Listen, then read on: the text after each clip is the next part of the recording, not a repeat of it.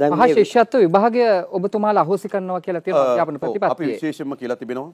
අපේ අධ්‍යාපනයේ මුළුමනින්ම තියෙන ඡන්දන විභාග තුනක් කේන්ද්‍ර කරගෙන. මේකයි. දෙමව්පිය මහන්සි වෙන්නේ දරුවෝ පහන්සි වෙන්නේ පහේ විභාගෙට ඕ ලෙවල් වලට ඒ ලෙවල් වලට. ඒ නිසා මේ විභාග කේන්ද්‍රීය අධ්‍යාපන ක්‍රමයක් වෙනුවට අපි මේ අධ්‍යාපන ක්‍රමයේ වෙනසකට භාජනය කරනවා මේක තමයි අපි ප්‍රතිපත්ති එතකොට අද පහේ ශිෂ්‍යත්වයේ තියෙන්නේ තෝරා බේ ඒ කියන්නේ පාසල් ජනප්‍රිය පාසල් ලබා ගැනීම මෙවලමක් ඇටිය. අපි මේ මුළුමනින්ම අහෝසි කරලා අපි මා- මා එක අවසාන වශයෙන් නිර්ණය කරන්නේ අධ්‍යාපනඥයන් සාකච්ඡා කරලා මම හිතනවා 9 වසරේදී වගේ අපේ දරුවන්ට විභාගයක් තියෙනවා. 9 වසරේ විභාගෙත් ඒ කියන්නේ අර අ, පාස් පේල් බලන විභාගයක් නෙවෙයි තෝරා ගැනීම විභාගයක්.